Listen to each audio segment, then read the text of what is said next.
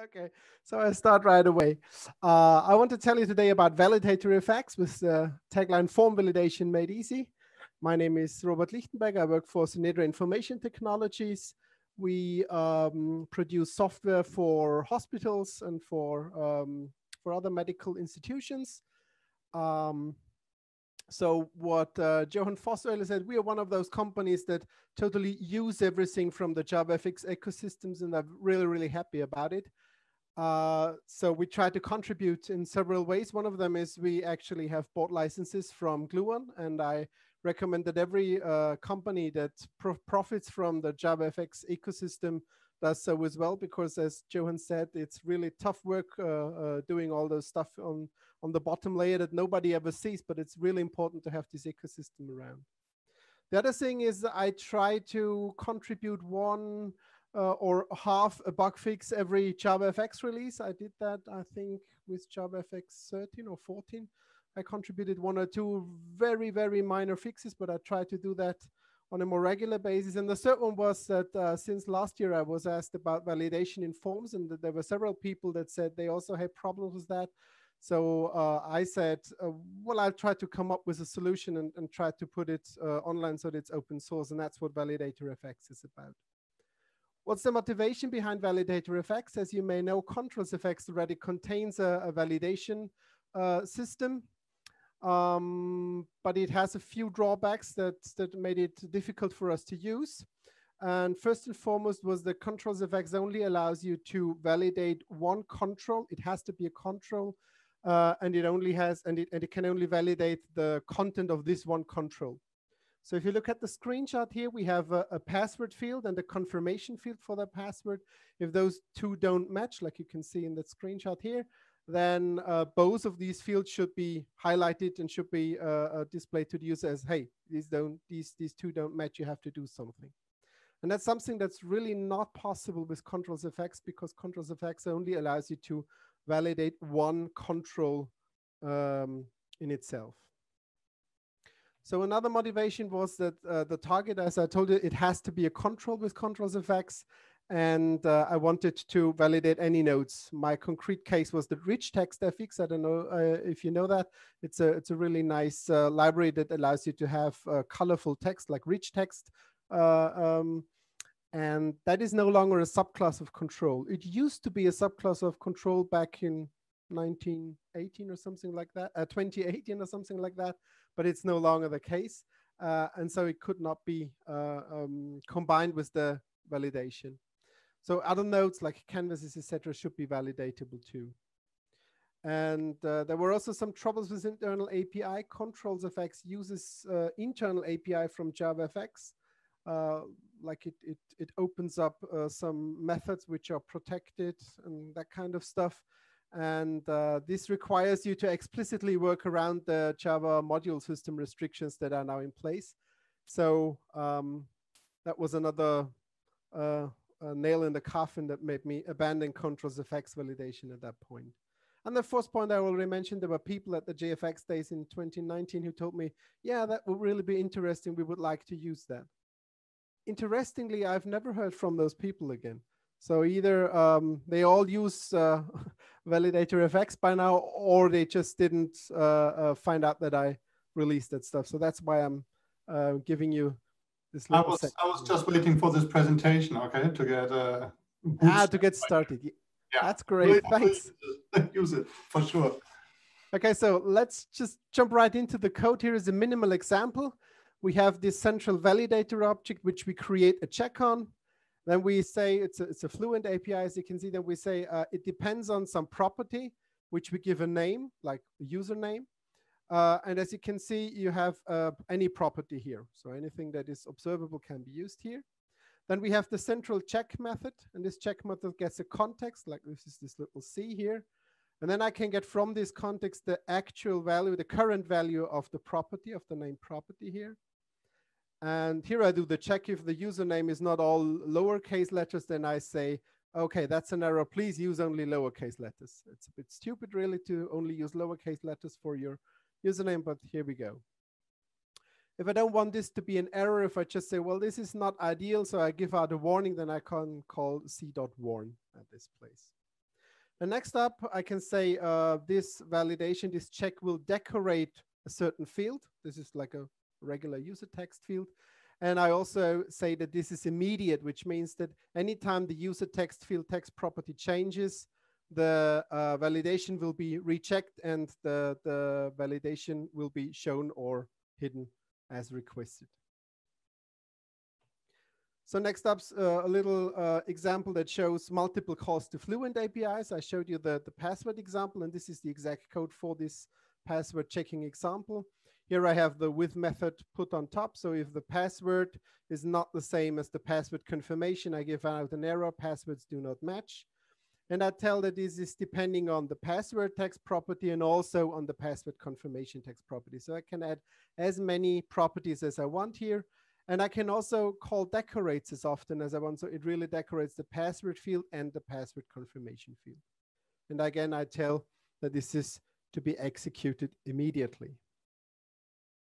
Next, how can we access validation results? Because uh, sometimes you not only want to draw little uh, icons on uh, on a button or on a, on a, on a uh, input field, but you want to give out what's wrong somewhere.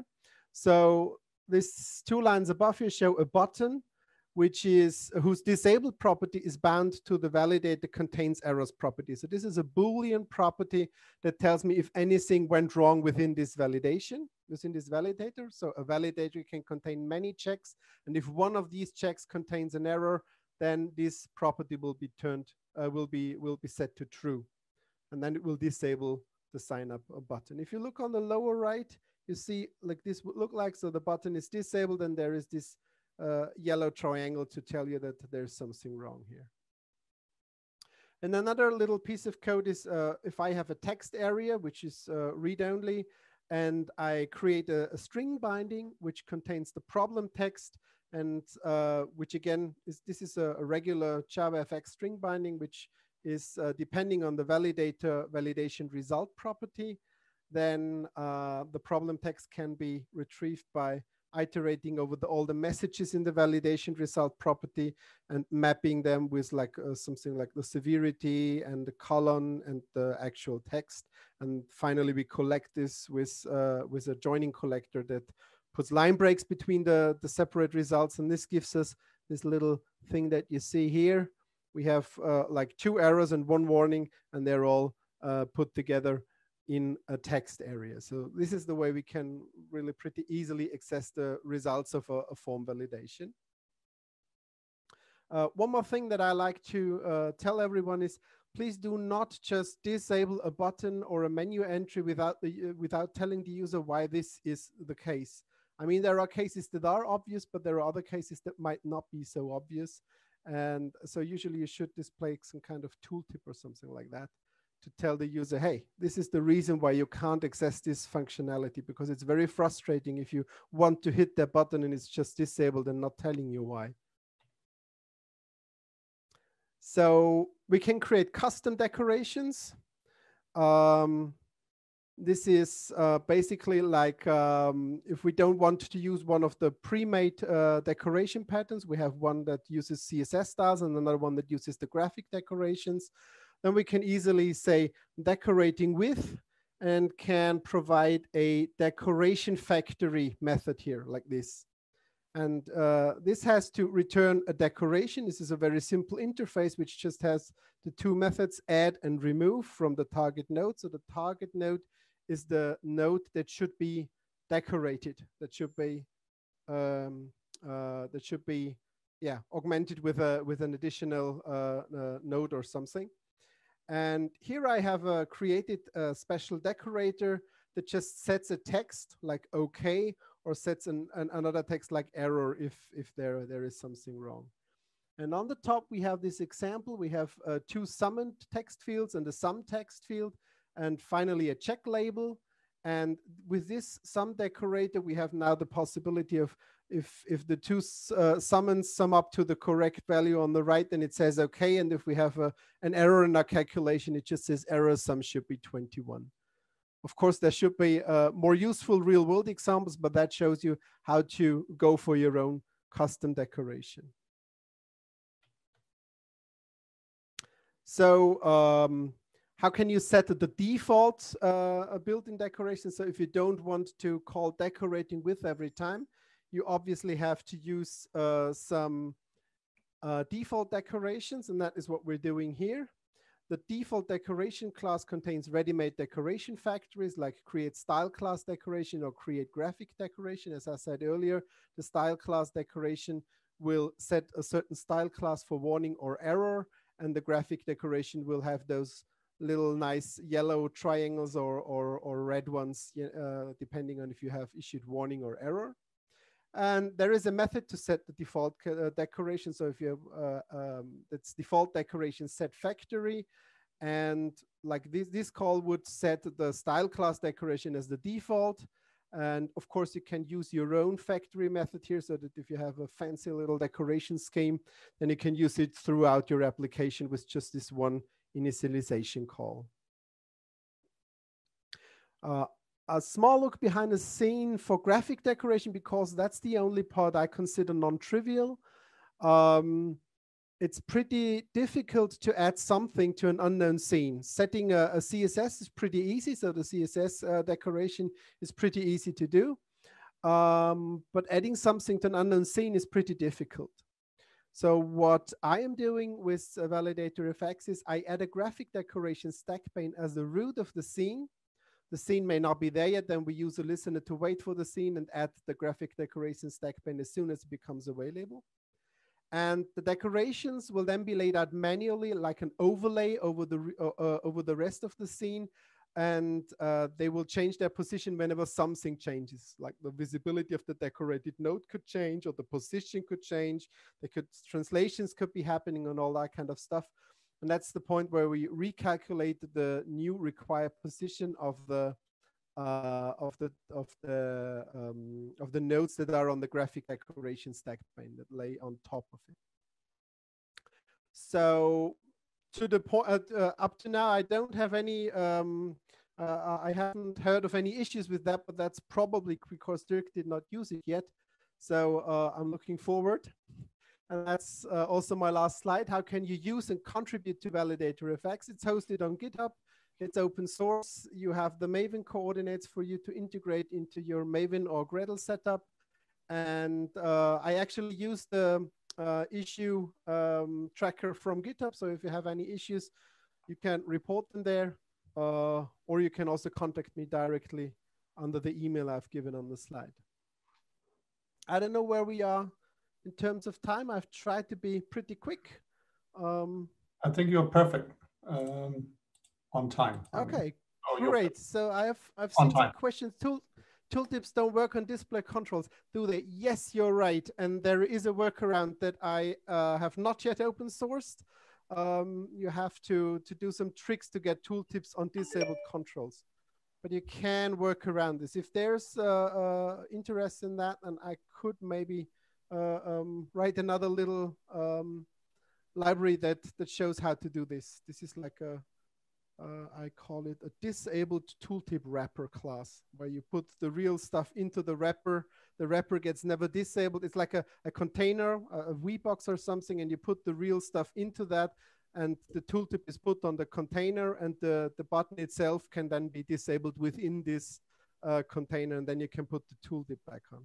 But it's really a nuisance that it doesn't work out of the box. Then there's another question, support ValidatorFX also the default JavaFX validation annotations as at, attribute like not null maxmin, etc. I'm not sure if I understand that question. I unmute to explain. At the beginning, you yes. had shown that you um, can um, can set uh, the validation on the username. I think so. Um, yes. Was uh, this was a minimal example like this. Yes, yes. So what when the username has uh, some annotations or?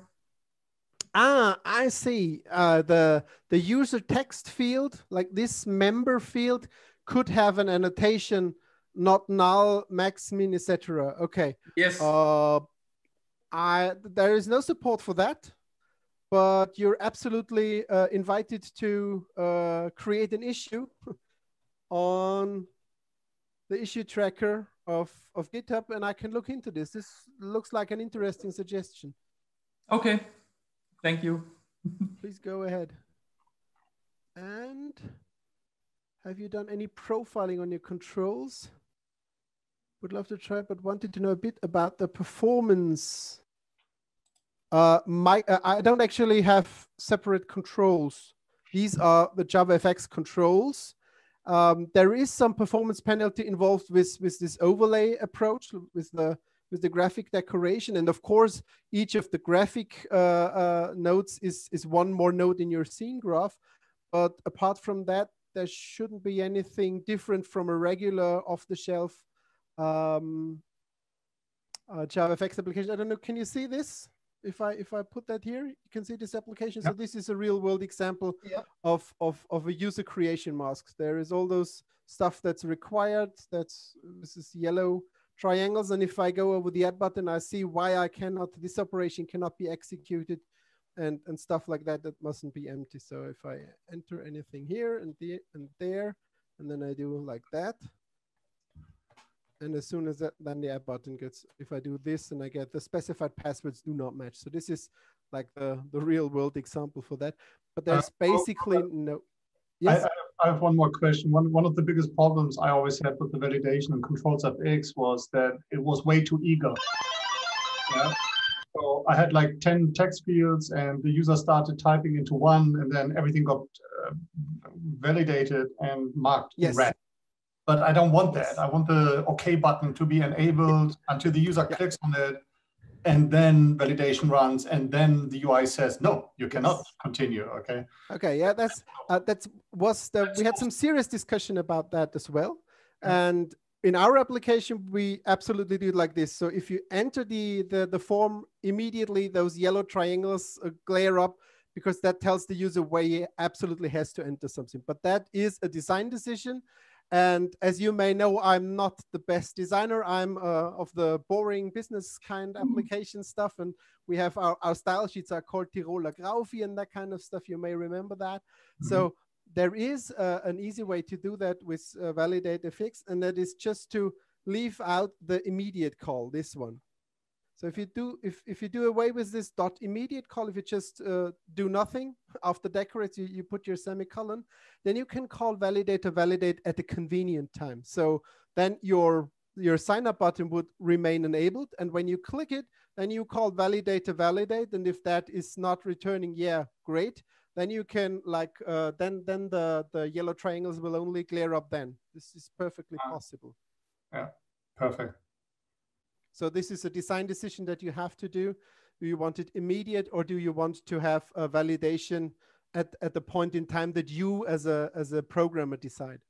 Right. All right, great. I think we have to uh, move on to the yeah, next great. presentation. Thanks for having me. Bye-bye. Thank you for presenting.